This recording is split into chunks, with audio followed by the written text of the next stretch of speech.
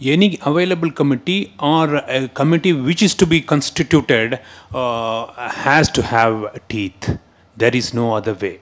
And also uh, uh, about assessments, I think that's that's an ecological point, but I think that's a very important point to have a very sound assessment, ecological, um, and well, I shouldn't call it economic, but a very sound ecological assessment of the region, uh, and this has to happen with the participation of the community. For example, in Kathani Basin, the Dhivars and the Gonds knew the river's fishes and they knew the names, and their assessment was much stronger. They even knew which are the ecologically critical spots in that basin. You are, if, I mean, uh, so this sort of community assessment before any project coming up is also very relevant. Uh, yes, that reminds me, you know, fighting against the nuclear power plants, not only in Kaiga when we were fighting. In Japan, uh, they fought with saying, say it with flowers, which means the nuclear radiation, they, it would reflect in the flower itself. That is a kind of indication. So similarly, what you was pointing out, uh, Himanshu, is that, you know, can we have that kind of saying it with fishes? It's a very, very good idea to show the indicators of, of the living rivers itself. But coming back to the overall broader picture, which uh, IRG has always been saying that, you know, like forest, Indian Forest Act, Forest Conservation Act 1980, a lot of controversies, whatever it is, it has been able to save the forests, remaining forests. CRZ, coastal regulation, I know lot of problem, lot of encroachment, but still has contributed in whatever trying to retrieve the fragile coastal rivers. Not the new amended act. No, no, what is the earlier one? But new amended act is by, you know, commercial orientation. exactly. So uh, I'm just wondering, I, it's a loud thought, whether can we have something on the rivers? You know, because they, they are the lifeline. This is what Rajendra Singh has been talking about. He has come out with uh, a national river policy. Yeah. And he's been holding meetings all over the place. And I think he has also sent it to the Ministry of Water Resources. I have given an alternative national water policy. But his point is a national water policy is not enough. You also separately need a national river policy. So he has formulated something. Discussion is going on. I don't know what will come of it. Maybe, I mean, that is an one way out. That is what I feel. But the policy is a, is a, a document of intent. Yes. It's not really going to help. if you No, take it once to- at least people. Policies then can be followed up. on the. The first step, as a first step. Yes. Um, taking on from what Mr. Himanshu said about instituting some legal framework, etc., and the example that he's giving is that he talked to the secretary and he said, no, we don't take it into account. Can we bring in the element of culpability of either ignorance or inefficiency or negligence on the part of the authorities who finally sanction these uh, projects? That is uh, a suggestion. Uh, though I'm aware it's not a forum for debate, I just was tempted to make this. I was tempted to make one point and then you brought in the other point. Now, you know, the, like I was talking about this mental mapping, this whole notion of cost benefit analysis, this has become a kind of a, a sort of a, uh forum in which the government and the activists can talk to each other on some kind of even footing. But this is the question I'm raising. Does the cost benefit analysis help us at all? Or does it sort of marginalize us further? This whole notion, this conceptual framework of cost benefit analysis. Just to sort of uh, take an anecdotal example, the GD Agrawal, when he put up his fight, he say, we, I will not talk about cost benefit analysis. I am fighting on the basis of my faith. Because he, more than any other person, realized that cost benefit analysis doesn't help us at all. So, this is the kind of poser we need to put on the people who are determining the rules of the game. That cost benefit analysis is not the rules of game which helps the ecological uh, you know, uh, thing.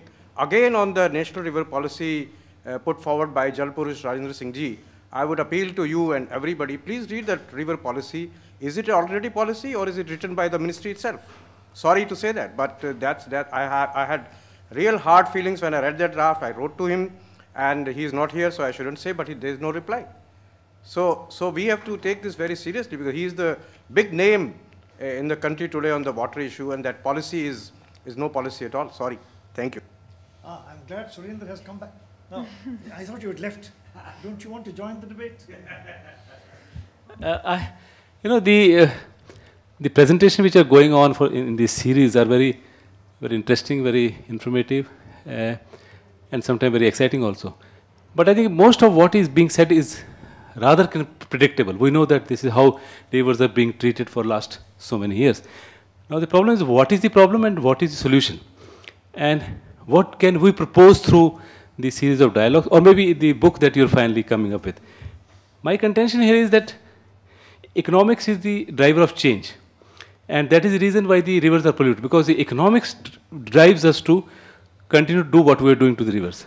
Now, can we, although I'm not very, uh, I'm not a very advocate of the ecosystem services principle, but I'm saying if economics is what is the overriding concern for us, can we counter it with economics of other kind? Can the rivers be ecologically evaluated? And we say that if you pollute a river, and you say, okay, West Coast paper mill or any industry is generating this much of revenue.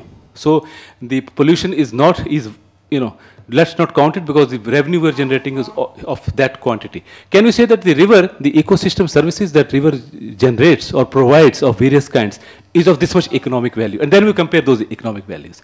Will that be prudent? Will that be a system? Will that be a one argument? So that's, I am just thinking loud. Maybe I'm uh, just posing as a, as an option. Maybe it's, once you start valuing uh, the waters or the ecosystem, then there are other implications of that as well. I am aware of that. Yes. But yet to put the argument up and say, okay, if economics has to compare, let's put the other economics, which is ecological economics, and let's see how it works. So that's you know one proposition I have in mind, which Pandu has been always raising. How to do it? Could that be an answer? Yeah, well, actually, the, the entire uh, gamut of cost benefit analysis is, and also ecological economics, it's, it's very evident that it's needed. Definitely, we can't uh, uh, circumvent it, but it's also a very dangerous ground, like you said. Uh, uh, because, for example, like I told, in, in Shastri Basin, around 10,000 livelihoods, 12,000 livelihoods depend on the river. If you actually calculate the economic costs of the livelihood dependency, it will be very low. And that is a problem. That that that that can be a problem.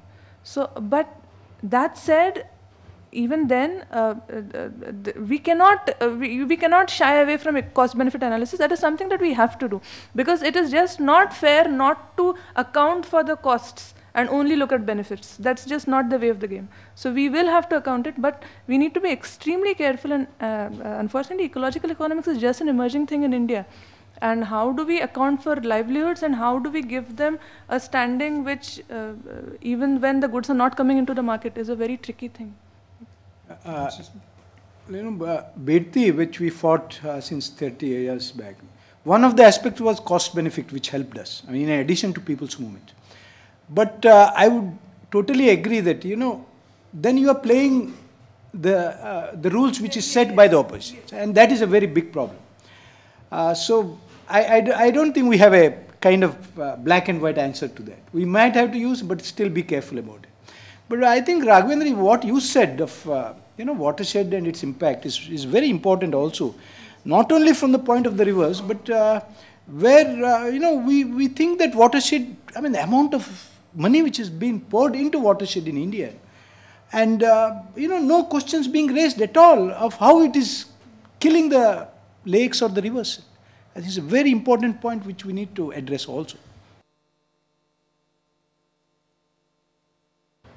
just wanted to add a very small point in the ecological uh, uh, economics thing. For example, uh, Panduji just mentioned Aghanashini, and Aghanashini river was studied by IISC, and they actually calculated the economic valuation of the bivalves, which are the mussels uh, of the river, and only the bivalves contribute to around 100 million to around 300 million rupees to the local population, and this is just the bivalves of the creek. We are not counting the fish and we're not counting that economy. So yes definitely these are, now just look at this sort of study. Maybe it has underestimated the economic valuation but this study is definitely going to help aghanashini if there is a dam coming up.